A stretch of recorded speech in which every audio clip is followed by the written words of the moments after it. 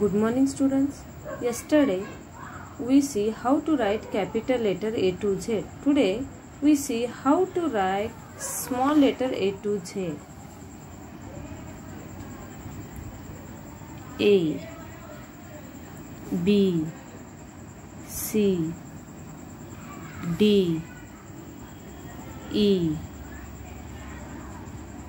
F G H. I. J K. L. M. N. O. P. Q. R.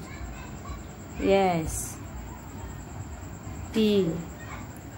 U V W X Y and Z. All of you understood? Okay, thank you. Bye.